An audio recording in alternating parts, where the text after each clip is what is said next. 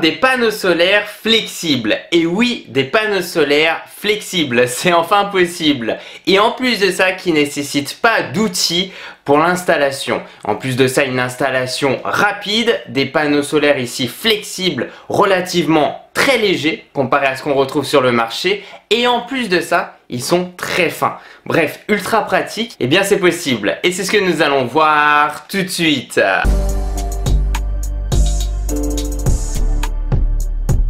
Coucou tout le monde, c'est Christo et aujourd'hui je suis vraiment super content de pouvoir te présenter le Anker Solix FS20. Il s'agit donc, comme je te l'ai dit, eh bien de panneaux solaires flexibles. C'est ultra intéressant. On se retrouve, c'est vrai, d'année en année avec, on va dire, des petites révolutions technologiques.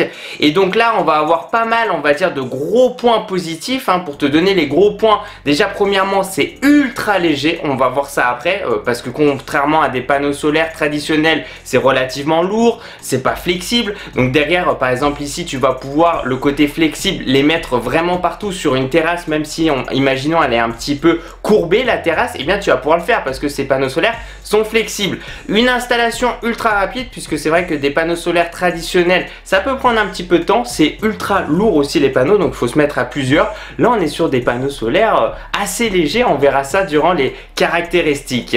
Et en cœur, tu connais sûrement, il s'agit d'une entreprise ultra reconnue. D'ailleurs, je t'ai déjà présenté des produits de cette marque-là. Il s'agit vraiment d'une marque que j'aime énormément et que j'utilise toujours des batteries de la marque Anker depuis des années et ça marche super bien. Gamme aussi Anker Solix. Ils veulent rendre aussi les solutions solaires accessibles à tous partout et bien entendu, leur but te fournir de l'énergie propre et renouvelable où que tu sois. Et petite parenthèse, mais j'ai reçu le kit solaire avec batterie. Donc j'ai reçu les panneaux solaires flexibles donc ici 4 panneaux solaires flexibles. Et j'ai aussi reçu une batterie à côté. Et j'ai aussi reçu des prises connectées de la marque Anker qui va permettre de suivre aussi en temps réel.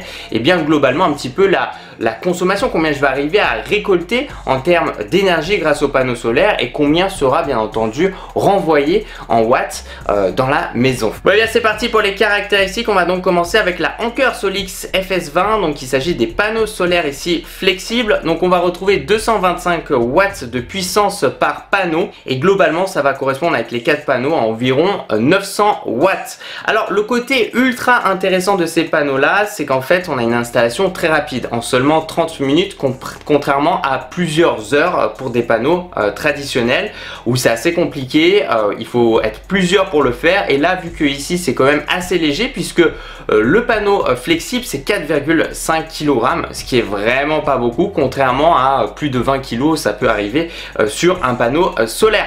On peut l'installer d'ailleurs sur les toits de vanne ou alors sur des balcons, moi de mon côté je vais le faire sur ma terrasse. C'est 0,3 cm ici donc c'est très très fin pour des panneaux solaires. Donc c'est vrai que c'est aussi un très bon point euh, de, ce côté-là où c'est qu'habituellement bah, tu mets dans un cadre, etc. Le panneau solaire. Donc en fait, hein, il est, ça devient très épais, hein. ça devient assez encombrant et tu peux pas les mettre partout. Voilà, faut bien prendre ça aussi en compte. Alors que là, franchement, je trouve il y a quand même beaucoup de points positifs.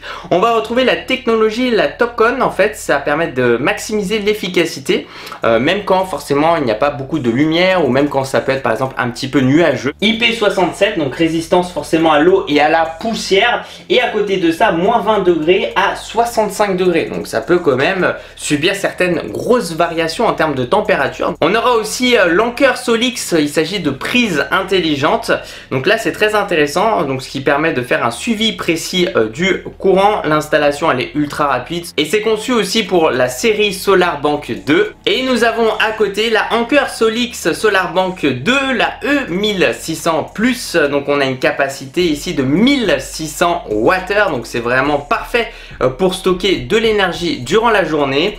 Elle est extensible d'ailleurs jusqu'à 9600 Wh. On a un, système de modules en fait où tu vas pouvoir euh, globalement les, rattacher à ta batterie, ce qui va permettre d'augmenter sa capacité. Enfin bref, euh, le, côté ultra ultra ultra smart que propose ici Anker. On a forcément des batteries, des Life PO4, donc de longue durée de vie et garantie 10 ans aussi de ce côté-là au niveau de la batterie. Une connexion sans fil, Bluetooth et Wi-Fi, tout ça tu vas pouvoir le gérer depuis l'application mobile qui est disponible sous iOS et sous Android en cœur. Et concernant la résistance de la batterie, on va se retrouver donc avec une résistance IP65, ce qui est vraiment aussi très intéressant. Bon, j'arrête de blablater avec toutes ces caractéristiques et c'est parti pour la partie test. On se retrouve donc pour la partie live et donc le côté ultra positif déjà au niveau des panneaux euh, solaires flexibles ici c'est leur légèreté. C'est ultra léger, regarde ça.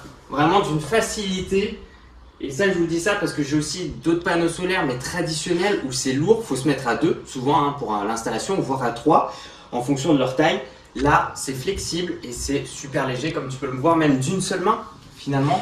J'arrive, bon, faut quand même faire attention, mais j'arrive à porter le panneau solaire. Donc il y a un côté flexible, il y a un côté aussi très léger donc mobile. C'est-à-dire que tu peux après très facilement, en plus on voit les petits anneaux là, où on va faire, on va mettre les attaches, eh bien finalement, hop, tu peux les déplacer très facilement par la suite. Donc ça, je trouve que c'est un point quand même très très positif. Ouais, bien voilà, c'est installé. Donc euh, franchement, ça fait super plaisir, c'est très rapide. Alors moi, j'ai pas fait l'installation complète, comme tu peux le voir. Normalement aussi, il faut attacher en bas. Dans, tous les, en fait, comme on peut le voir, les anneaux, il y a des serflex métalliques qui sont mis à disposition dans la boîte. Donc ça, c'est vraiment excellent. Moi, pour euh, la démo, pour euh, la vidéo, en fait, j'ai fait une installation très rapide. Après, nous, on va les rebouger, on va les mettre ailleurs parce que vu qu'ils sont très légers, en fait, ça, je trouve que c'est un avantage qui est juste incroyable qu'on pourra mettre par la suite aussi sur des barrières. C'est ce qu'on va faire, on va en profiter. Euh, mais ici pour la vidéo, on le met un peu comme si c'était un balcon et un petit peu de vent. Donc comme tu peux le voir, c'est très important voilà, de l'attacher aussi en bas, vraiment tout le tour. De toute façon, tous les outils sont mis à disposition dans la boîte. Comme on peut le voir ici, nous avons pas mal de câbles et je vais te montrer ça juste après. Donc voici le, rendu, le résultat. Il y a trois panneaux solaires flexibles. Tu vas me dire, mais où le quatrième? Et en fait, le quatrième, il est juste derrière. Il est juste ici. Il va en fait lui faire euh, la fin de journée. Donc ça, c'est vraiment trop bien. Tu vois, qu'il est installé rapidement. Voilà. Qui lui va permettre en fait de faire la fin de journée. Peut-être qu'on va devoir les attacher s'il y a un petit peu de vent. Comme on peut le voir, c'est très important. Et donc euh, en fait parce que le soleil se couche là-bas et donc lui comme ça il pourra aussi euh, bah, toujours prendre de l'énergie du soleil et bien en fin de journée. Donc ça c'est vraiment vraiment cool. Donc concernant l'installation c'est vraiment très facile. Donc en fait ils ont mis à disposition des câbles. Donc on a tout dans, la boîte. Et donc en fait quand on regarde en fait les câbles qu'ils nous ont fournis ça va nous permettre de les mettre en série. C'est à dire qu'on va pouvoir mettre deux panneaux flexibles qui font 200 watts environ, ça revient à 400 watts, donc à l'équivalent d'un gros panneau solaire euh, voilà, qui est assez imposant.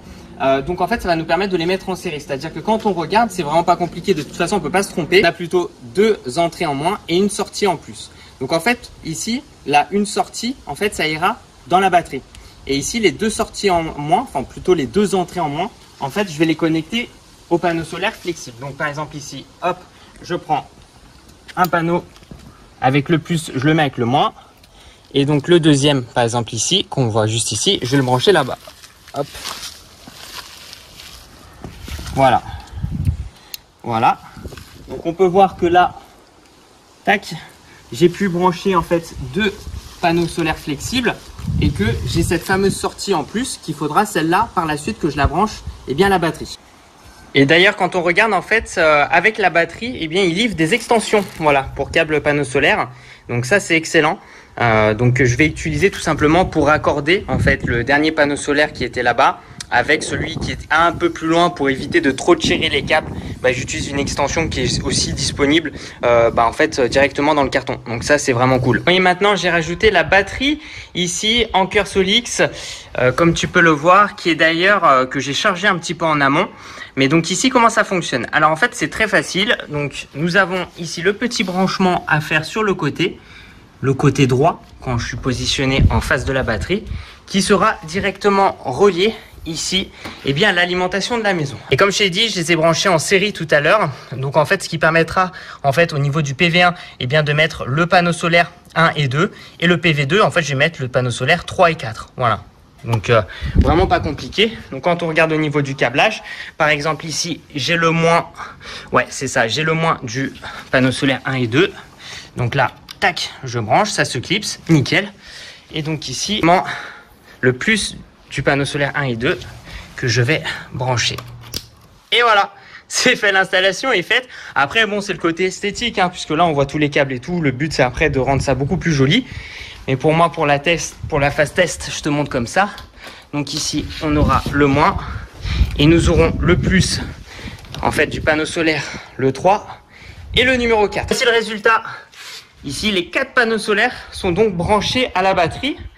Suffira juste de patienter un petit peu et puis de voir après sur l'application mobile. Ouais bien c'est parti, j'ouvre donc l'application mobile ici en cœur. On accède donc à la page d'accueil et comme on peut le voir, eh bien ce que j'ai installé et ça fonctionne parfaitement. On a d'ailleurs du 348 watts comme on peut le voir en solaire tout en haut. D'ailleurs si j'appuie dessus, on peut voir que le PV1 c'est 225 watts et que le PV2 c'est 124 watts. Donc ce qui est normal pour le PV2 puisque en fait pour le moment, eh bien, celui qui est orienté plein sud, il ne fonctionne pas vraiment puisqu'il n'y a pas encore le soleil, mais fin de journée il fonctionnera. Donc l'idée c'était d'avoir trois vraiment qui vont prendre entre midi et je dirais euh, principalement 15-16 euh, heures. Voilà faire le, plus gros. Et puis j'ai aussi un petit peu durant la soirée. Donc ça c'est nickel. Quand on regarde la sortie totale c'est 0 watts. Et je vais te montrer aussi euh, pourquoi. On a la prise tout à gauche donc 0 watts donc ce qui est tout à fait normal puisque pour le moment je veux que ça recharge en fait la batterie. Comme on peut le voir d'ailleurs si je clique sur Solar Bank la 2 la E1600 ici plus et eh bien elle est actuellement à 43% et elle est actuellement en train de se recharger. On a du 344 watts, 346 watts qui est en train de rentrer. D'ailleurs, je clique dessus, on voit tout ça en temps réel. Nous avons la batterie 43%, la température de la batterie très très important. La température de la batterie, elle ne doit pas vraiment excéder, je dirais, les 50 degrés. Dans l'idéal, c'est de rester aller max euh, vers les 40 degrés. Euh, la batterie, c'est pour ça qu'elle doit honnêtement être toujours à l'ombre. Batterie en charge 344 watts, 346, on voit du temps réel et ça c'est cool. Entrée solaire 349 watts, sortie pour le moment rien. On peut aussi personnaliser la lumière. Quand on regarde ici au niveau de l'accueil, nous avons gain 1,88€. Bien entendu, on pourra personnaliser le prix au kilowattheure. Moi, j'ai mis 25 euh, centimes. CO2 économisé 7,52 kg. Énergie produite pour le moment 7,54 kWh. Voilà, voilà. On a la production aussi solaire. Donc pour le moment 0,56 kWh.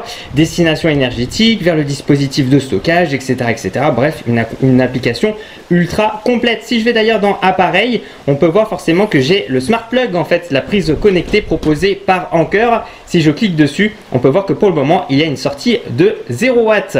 Et pourquoi il y a 0 watts Tout simplement, si on retourne sur la batterie, sur la Solar Bank, c'est tout simplement dans mode personnalisé. Je lui ai demandé pour le moment de rien envoyer, la priorité de se recharger. Mais je peux personnaliser tout ça. On a la consommation personnelle tout en haut. Donc ça, alors, il faudra rajouter un accessoire qui sera connecté en fait au tableau électrique.